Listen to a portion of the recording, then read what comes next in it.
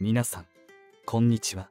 黒柳徹子さんが自身の番組「徹子の部屋」の X デーを語ったとまことしやかに噂されています。そしてその引導を渡したのは近藤正彦さんだというのですがそれは本当でしょうか？もしそれが本当だとしたら最終回のゲストは誰になるのでしょうか？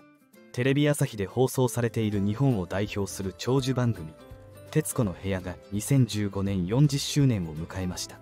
この番組に出演することは芸能人や著名人にとって一種のステータスとさえ言われていますが同時に懸念されているのが司会の黒柳徹子さんの年齢という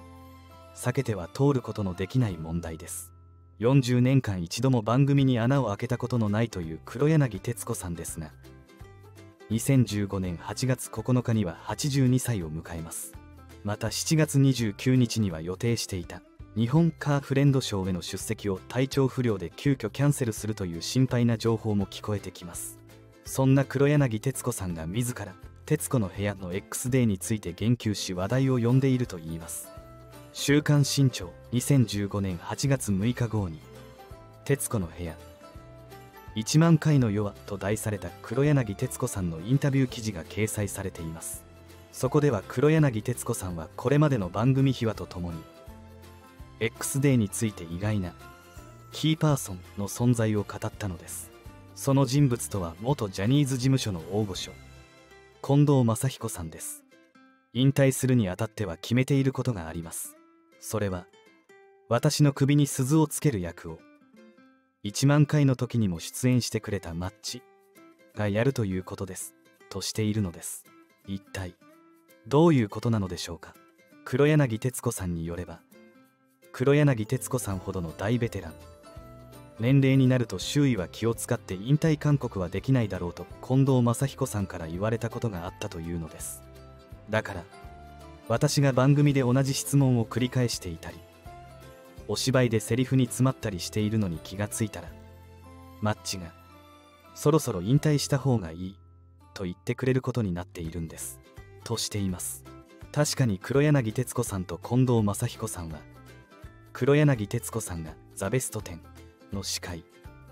近藤正彦さんがトップアイドルだった10代の頃からの付き合いです。近藤正彦さんの母親が交通事故で逝去して以降。近藤正彦さんは芸能界のお母さんと黒柳徹子さんをしたい。毎月のように食事をしたり時には旅行を共にしたりすることもあったといいます。また近藤正彦さんが結婚する際これに反対していた相手女性の両親に黒柳徹子さんは手紙を書いて説得を試みたというエピソードも残っています。そして番組スタートから1万回だった2014年5月27日には後輩の東山紀之さんと共にゲスト出演するほどの仲です。東山紀之さんと子森光子さんの親しい関係が取り沙汰されたのと同様ジャニーズ事務所所属の大物接近術と言えなくもないのですがいずれにしても。マッチが黒柳徹子さんの引退勧告という大役を担うことになっているというのはご本人からも言葉がある通り事実のようです。このインタビューではもう一つ最終回についても語られているそうです「徹子の部屋」の最終回にはユーミンさんがゲスト出演してくださることになっています。彼女とは20年来の付き合いで一緒にお散歩したりする関係です。としています。黒柳徹子さんとユーミンが一緒にお散歩とは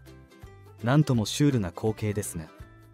これまで「徹子の部屋」に出演したことがないユーミンに黒柳徹子さんが出演を打診すると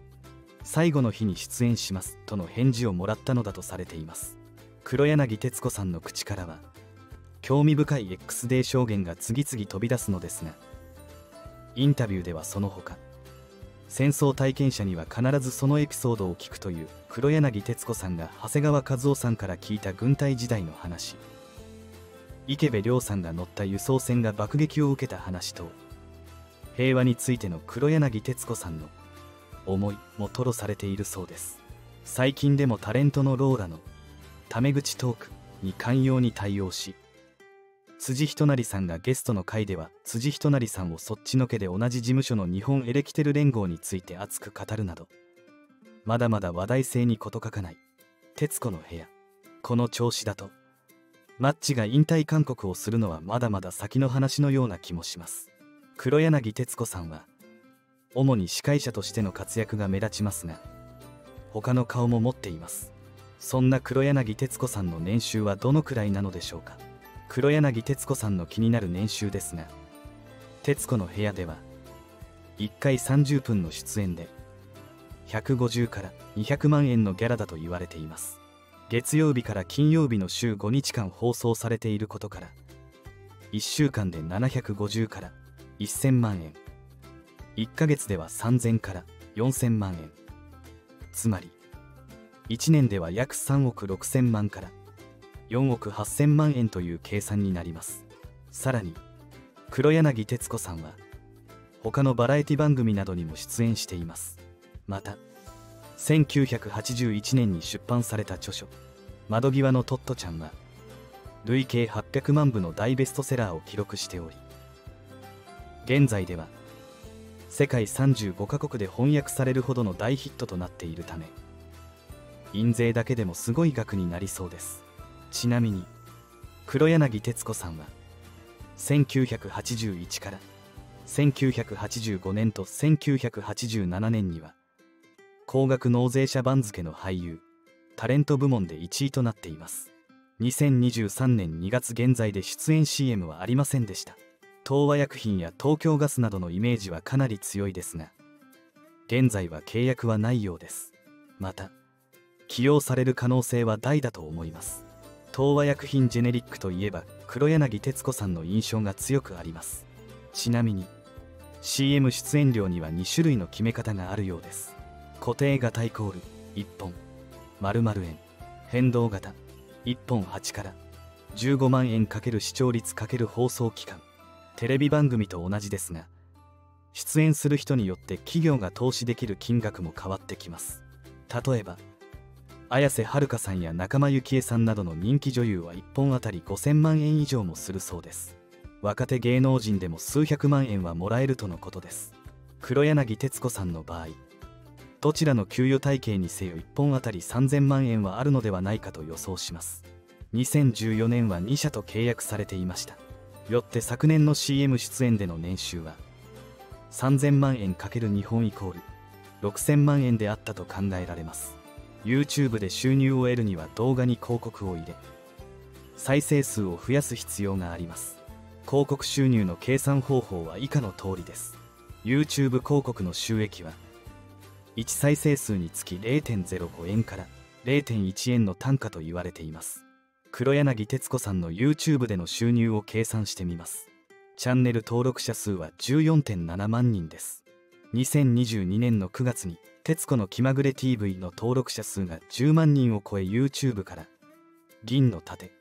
を送られたことを報告されています。月の動画投稿数は4本で平均再生数が8万です。よって YouTube での黒柳徹子さんの収入は4万程度はあると思われます。YouTube を本業としている有名 YouTuber の人は企業案件をもらって動画にし報酬をもらっている人が多くいます。黒柳徹子さんも YouTube に動画を投稿していますが企業案件をもらったような動画はありませんでした。黒柳徹子さんはテレビや YouTube 以外に本を出版しておりその印税を得ています。出版した本は累計800万部以上売れています。そして印税は本の単価×部数×印税率という計算で割り出しその10%を収入として受け取ることができます。800万部以上売れているので10%でも相当な印税が収入として入っているのではないかと考えられます。黒柳徹子さんは1984年にユニセフ国際親善大使になりました。ユニセフへの参加のきっかけは国連に勤められていた尾形貞子さんが窓際のトットちゃんを当時のユニセフ事務局長のジェームス・グラントさんに紹介したことでした。そしてジェームスさんが黒柳徹子さんの子供への深い愛情や環境問題などへの関心の深さに感銘し国際親善大使への就任を要請しました。ユニセフ国際親善大使としての年間報酬は1ドルと黒柳徹子さん自身がコメントされていました。黒柳徹子さんは現在ものすごい豪邸を売りに出しているそうです。かつてはトットちゃん御殿と呼ばれていました。現在こちらの豪邸は22億円で売りに出されているそうです。黒柳徹子さんの愛車はトヨタの未来です。未来の燃料に使用されるのは水素です。充電を行うことはなく水素ステーションで充電を行うだけで約 650km 走行できます。黒柳徹子さんが日本ベストカーフレンド賞に選出された際に空気を汚さない運転を心がけたいと語っておりその思いを実現させています。現在89歳になられた黒柳徹子さん。そんな黒柳徹子さんが病気なのではないかという話があります。黒柳徹子さんの著書でベストセラーになった「窓際のトットちゃん」や小さい時から考えてきたことで小さい時から独自障害。や計算障害などの学習障害を伴う発達障害があったと告白されているそうです。ディスレクシアは文字が歪んで見えたり目と根の区別がつかなかったり。とにかく文字が普通の人とは違って見えるとのことです。小学校の時には授業中に机の蓋を100回以上も開け閉めしたりちんどん屋さんを学校に呼んだり鳥に話しかけたりして先生を困らせ問題児として有名になり1年生で退学させられたとのことです。その後お母さんが見つけてきた巴学園という学校で理解ある校長先生に恵まれやっと楽しく生き生きと小学生活を送れたそうです。自身が撮った変顔画像や徹子の部屋でおしゃべりしている時の画像で舌が黒いと話題になりました。これは病気によるものではないかとの心配の声が上がっています。これについて直接質問をぶつけられた黒柳徹子さんは舌が黒いのは生まれつきときっぱり否定したとのことです。滑舌が悪いのは60代後半に入れたそういればが15年も経って歯茎が痩せて合わなくなってきているためだそうです。いかがだったでしょうか？黒柳徹子さんは2015年にポール・マッカートニーさんの来日公演を見に行った際生きながらえたものの使命結局自分で何とかしなきゃいけないんだって分かったんです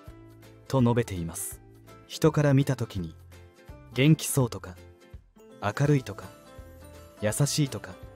面白いとかかっこよくとか何とも形容しがたいそういうものがないとダメだと語っています。黒柳徹子さんは今後もしっかりと人生の目標を立てているようです。90歳になったら学校に通って政治の勉強をしたい。そして100歳になったら政治記者になりたい。と考えているそうです。人生の先輩として